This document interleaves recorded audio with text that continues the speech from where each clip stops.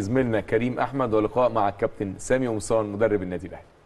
لعيبة رجالة كالعادة الكل كان على قلب رجل واحد ببارك طبعا للكابتن سامي ومحمد شريف طبعا يعني حاجة رائعة جدا وممتازة جدا. كابتن سامي مبروك. الكل اجتهد الكل كان على قلب الرجل الواحد اللي موجود في القايمة زي اللي موجود مش في القايمة. الكل كان بقلبه الحقيقة في المباراة. حابب تقول إيه؟ وشايف الجمهور الحقيقة المغربي الرائع وجمهور النادي الأهلي اللي إدى طابع كبير جدا للافتتاح. اولا طبعا مبروك لجمهور النادي الأهلي.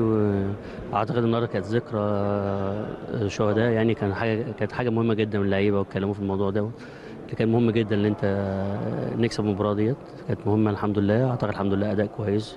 وأشكر برضو الجمهور المغربي على الدعم اللي قدمه لنا. وبشكر جمهور النادي الأهلي اللي جه في كثافة برضو النهارده. ودعم اللعيبة والحمد لله بطولة كبيرة. بداية الحمد لله موفقه كنا محتاجينها جدا.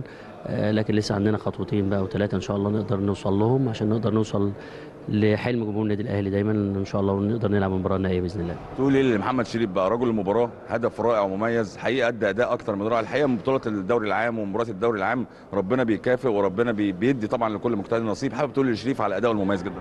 بقول له طبعا أنت لسه عندك كتير جدا. جمهور النادي الأهلي عنده كبيرة فيك جدا.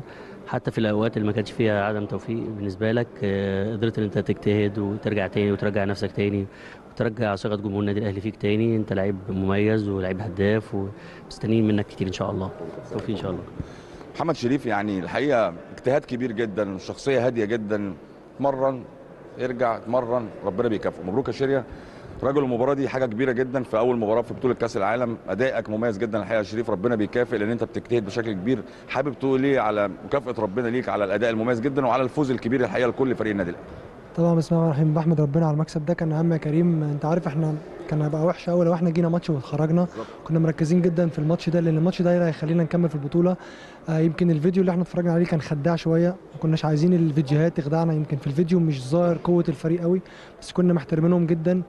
وطبعا بنحمد ربنا على المكسب لأن ده كان الأهم لأن هو ده اللي هيخلينا نكمل في البطولة يعني الحمد لله. الأسيست والهدف ويمكن يعني أداء مميز جدا الحقيقة من كهربا واداؤه رائع الحقيقة وربنا بيكافئه زي ما بيكافئ محمد شريف. أنا عارف إن في حب كبير جدا وعلاقة كبيرة جدا الحقيقة بين شريف وكهربا. تقول له إيه؟ لأن كانت شكلها رائع وممتاز وفي وقت قليل قوي. كهربا أخويا طبعا من زمان إحنا من منطقة واحدة من مصر القديمة.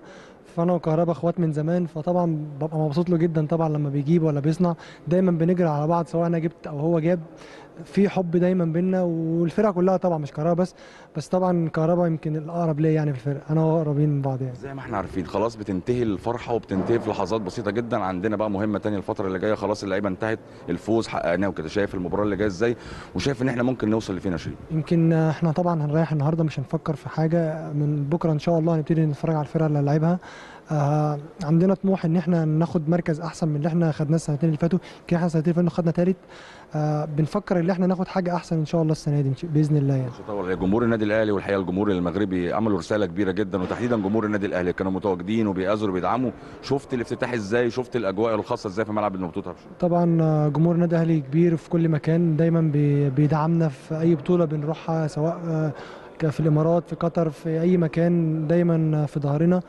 طبعا بنشكرهم على تواجدهم معانا النهارده وطبعا بنشكر الجماهير المغربية كانت برضو بتدعمنا النهارده وربنا يديم المحبة بين الشعبين إن شاء الله. حبيبك يوم حبيبي. ألف مبروك الحقيقة لكل لعيبة النادي الأهلي ومستر كولر كمان الحقيقة لتحضيره الرائع والمميز. شفنا الحقيقة السيناريوهات العديدة جدا اللي كان مقسمها في المباراة. ما اتخدعناش من فريق أوكلاند سيتي ما اتخدعوش اللعيبة من التصريحات الحقيقة اللي كانت يعني بنقول فيها تنويم مغناطيسي شوية. خلاص المباراة انتهت. وجود لعيبة النادي الأهلي في فندق الإقامة هيتناولوا وجبة العشاء ومنها مباشرة للاستعداد من جديد بمشيئة الله إن شاء الله ليوم السبت.